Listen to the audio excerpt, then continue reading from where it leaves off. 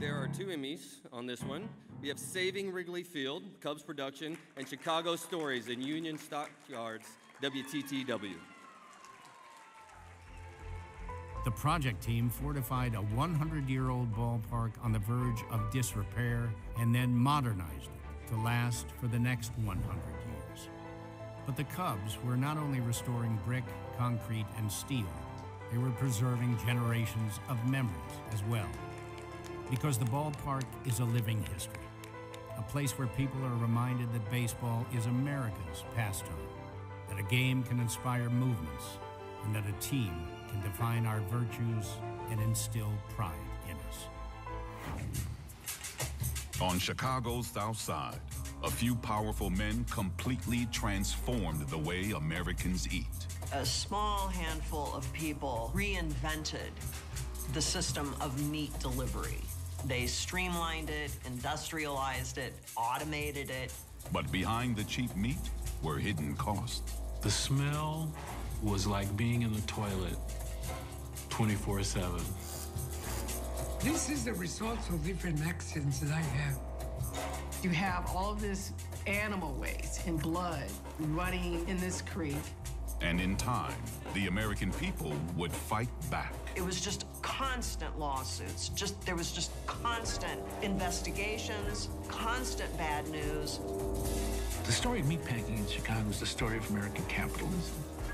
The Union Stockyards. Thank you. Um, first, thanks to Cubs Productions, uh, everyone from Matt Ramito all the way on down. Everybody, we, we're a small team. Everyone touched this in some capacity. Um, and yeah, it was a great team effort. Um, and secondly, I guess I just wanted to say that it's, it's a pleasure, you know, to, to tell stories like this about how sports are tied to a city's, uh, into, a, into our society, into our culture. There's no place quite like Chicago uh, where that is so richly done. And so it is our pleasure to tell these stories. Thank you.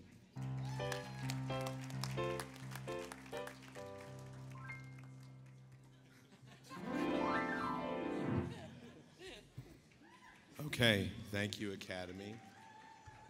Thank you, WTTW. Uh, my great grandfather, Ed Burr, was a butcher. And once in a while, he'd make some money in the Union Stockyards. And his great grandson, that'd be me, is a documentary storyteller. And I found some success in the Union Stockyards. So, this is a place where you find a subject that is, what were the words I wrote down? Uh, disturbing, outrageous, and juicy, visceral. And this team went whole hog. Thank you for the pun.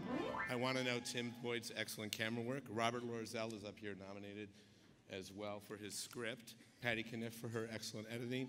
The voice of Anthony Fleming III. Oh, yeah. Okay. Um, we have with us also uh, the associate producer Ian uh, Bertarelli. I want to thank Nick Tremulis for his evocative horror movie score. And uh, finally, series producer Dan Protess for his devotion to how we approach this story. And of course, you got to thank your wife, who's not here.